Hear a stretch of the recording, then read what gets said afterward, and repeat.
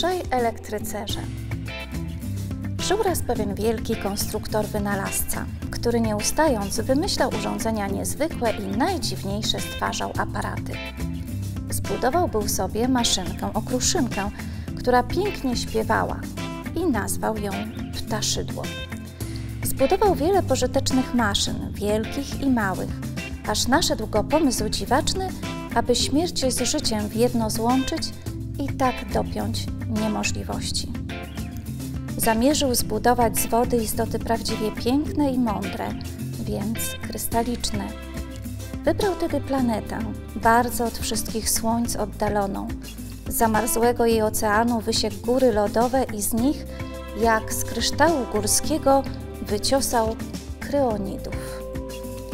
Zwali się tak, bo tylko w przeraźliwym mrozie istnieć mogli i w pustce bezsłonecznej. Pobudowali też w niedługim czasie miasta i pałace lodowe, a że wszelkie ciepło groziło im zgubą, zorze polarne łapali do wielkich naczyń przejrzystych i nimi oświetlali swoje siedziby. Im kto był wśród nich możniejszy, tym więcej miał zórz polarnych, cytrynowych i srebrzystych. I żyli sobie szczęśliwie, a że się nie tylko w świetle, ale i w szlachetnych kamieniach kochali, słynęli ze swych klejnotów. Klejnoty te były z zamarzniętych gazów cięte i szlifowane. Nie jeden zdobywca kosmiczny chciał posiąść te bogactwa. Cała bowiem Kryonia była z największych dali widoczna, migocąc bokami jak klejnot obracany zwolna na czarnym aksamicie. Przybywali więc awanturnicy na Kryonię, by szczęścia wojennego próbować. Przyleciał na nią elektrycerz mosiężny, który stąpał, jakby dzwon dzwonił. Ale zaledwie na lodach nogę postawił, stopiły się od gorąca i runął w otchłań lodowego oceanu, a wody zamknęły się nad nim i jak owad w bursztynie w górze lodowej na dnie mórz kryońskich po dzień ostatni spoczywa. Nie odstraszył los mosiężnego innych śmiałków. Przyleciał po nim elektrycerz żelazny, opiwszy się płynnym helem, aż mu w stalowym wnętrzu bulgotało a szron osiadający na pancerzu uczynił go do kukły śniegowej podobnym. Ale szybując ku powierzchni planety, rozpalił się od tarcia atmosferycznego. Hel płynny wyparował z niego świszcząc, a on sam, świecąc czerwono na skały lodowe, upadł, które zaraz się otwarły. Wydobył się parą buchając, podobny do gejzera wrzącego, lecz wszystko, czego się tknął, stawało się białym obłokiem, z którego śnieg padał. Usiadł więc i czekał, aż ostygnie, a gdy już gwiazdki śniegowe przestały topnieć mu na pancernych naramiennikach, chciał wstać i ruszyć w bój, lecz smar stężał mu w stawach i nie mógł nawet grzbietu wyprostować. Do dzisiaj tak siedzi, a śnieg padający uczynił go białą górą, z której tylko ostrze hełmu wystaje. Posłyszał o losie poprzedników trzeci elektrycerz, kwarcowy – którego w dzień nie widać było inaczej jak soczewkę polerowaną, a w nocy jak odbicie gwiazd. Nie obawiał się, że mu olej w członkach stężeje, bo go nie miał, ani że lodowe kry pod nogami mu pękną. Mógł bowiem zimnym stawać się jak chciał. Jednego musiał unikać, to jest myślenia uporczywego, od niego bowiem rozgrzewał mu się kwarcowy mózg i to mogło go zgubić ale postanowił sobie bezmyślnością żywot uratować i zwycięstwo nad kreonidami osiągnąć. Osiadł na białych śniegach kreonii, pod jej niebem czarnym jak garnek pełny gwiazd i podobny do lustra przejrzystego. Chciał się zastanowić, co mu począć dalej, ale już śnieg wokół niego zczerniał i począł parować. Oho, rzekł kwarcowy, niedobrze. Nic po tym byle tylko nie myśleć, a będzie dobra nasza. I postanowił sobie tę jedną frazę powtarzać, cokolwiek się stanie, bo nie wymagała wysiłku umysłowego, a dzięki temu wcale go nie rozgrzewała. Ruszył tedy pustynią śnieżną kwarcowy, bezmyślnie i byle jako, aby chłód zachować. Szedł tak, aż doszedł do murów lodowych stolicy Kreonidów, Frygidy. Rozpędził się, głową w blanki uderzył, aż skry poszły, lecz nic nie wskórał. Spróbujmy inaczej, rzekł sobie i zastanowił się, ile to też będzie dwa razy dwa. A kiedy rozmyślał nad tym, głowa mu się nieco rozgrzała więc drugi raz mury roziskrzone taranował, ale tylko dołek uczynił niewielki. Mało było, rzekł sobie, spróbujemy czegoś trudniejszego. Ile to też będzie trzy razy pięć? Teraz to już głowę jego otoczyła chmura skwiercząca, bo śnieg w zetknięciu z tak gwałtownym myśleniem od razu kipiał. Więc cofnął się kwarcowy, nabrał rozpędu, uderzył i na wylot przeszedł mur, a za nim jeszcze dwa pałace i trzy domy pomniejszych grafów mroźnych. Wypadł na wielkie schody, chwycił się poręczy ze stalaktytów, ale stopnie były jak ślizgawka. Zerwał się szybko, bo już wszystko wokół niego tajało i mógł w ten sposób przewalić się przez całe miasto w głąb, w przepaść lodową, gdzieby na wieki zamarzł. Nic po tym, byle tylko nie myśleć, dobra nasza, rzekł sobie i w samej rzeczy zaraz ostygł. Wyszedł więc z tunelu lodowego, który wytopił i znalazł się na wielkim placu, ze wszech stron oświetlonym zdorzami polarnymi, które mrugały szmaragdem i srebrem z kolumn kryształowych. I wyszedł mu naprzeciw skrzący się gwiezdnie rycerz ogromny, wódz kreonidów, Boreal.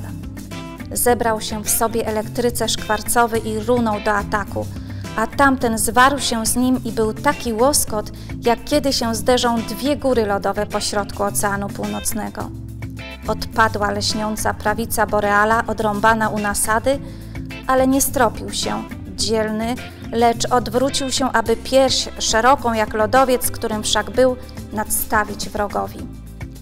Tamten zaś drugi raz nabrał szybkości i znów taranował go straszliwie. Twardszy był kwarc i bardziej swoisty od lodu.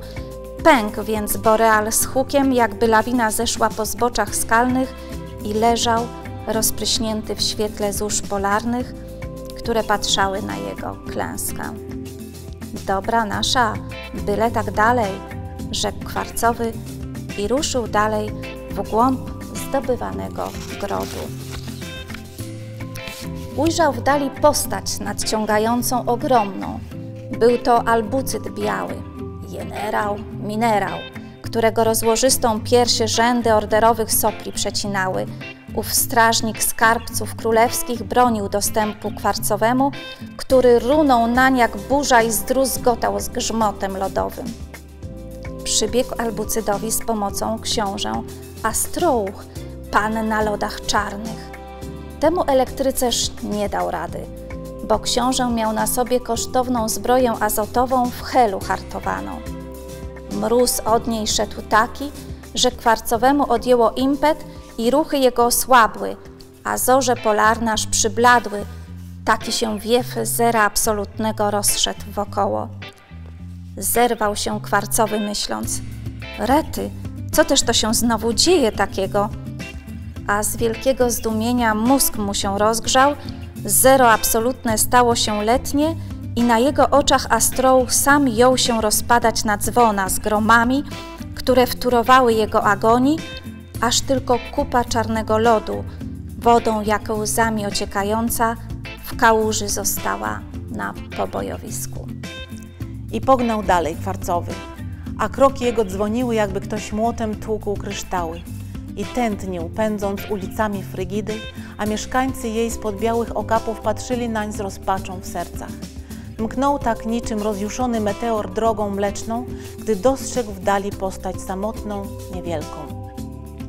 Był to sam Baryjon, zwany Lodoustym, największy mędrzec kreonitów. Rozpędził się kwarcowy, by go jednym ciosem zmiażdżyć, ten jednak ustąpił mu z drogi i pokazał dwa palce wystawione. Nie wiedział kwarcowy, co by to mogło znaczyć, ale zawrócił i nurzy na przeciwnika. Lecz Baryjon znowu tylko o krok mu się usunął i szybko pokazał jeden palec. Zdziwił się nieco kwarcowy i zwolnił biegu, chociaż już nawrócił i właśnie miał brać rozpęd. Zamyślił się i woda jęła płynąć z bliskich domów, ale nie widział tego, bo Baryjon ukazał mu kółko z palców złożone. Przez nie kciukiem drugiej ręki prędko tam i sam poruszał. Kwarcowy myślał i myślał, co by te milczące gesty miały wyrażać. I otwarła mu się pustka pod nogami, chlusnęło z niej czarną wodą, a on sam poleciał w głąb jak kamień. I nim zdążył sobie jeszcze powiedzieć nic, to byle nie myśleć, już go na świecie nie było. Pytali potem uratowani kreonidzi, wdzięczni Barionowi za ratunek, Co chciał wyjawić znakami, które straszliwemu elektrycerzowi przy błędzie pokazywał? To rzecz całkiem prosta, odparł mędrzec. Dwa palce znaczyły, że jest nas dwóch razem z nim. Jeden, że zaraz ja sam tylko zostanę. Potem pokazałem mu kółko na znak, że się wkoło niego lód otworzy i otchłań czarna oceanu pochłonie go na wieki. Jednego nie pojął tak samo jak drugiego i trzeciego. Gdyby choć odrobinę miał rozumu, nie przybyłby do nas. Cóż bowiem może przyjść istocie, która pod słońcem mieszka z klejnotów gazowych i srebrnych gwiazd lodu? A oni zadziwili się z kolei mądrości mędrca i odeszli uspokojeni do swych domów, w których czekał ich mróz miły. Odtąd nikt już nie próbował najechać Kreoni, bo zabrakło głupców w całym kosmosie, chociaż niektórzy mówią, że ich jeszcze sporo, a tylko drogi nie znają.